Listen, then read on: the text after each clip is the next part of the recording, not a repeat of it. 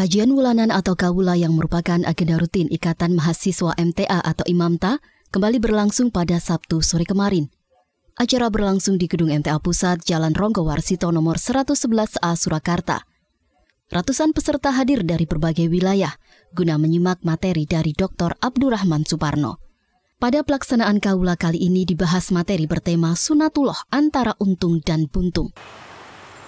Hidup itu harus harus punya tujuan. Dan Allah sudah mencanangkan kepada kita semuanya tujuan manusia hidup itu. Rabbana atina fid dunya hasanah wa fil akhirati hasanah wa qina adzabannar.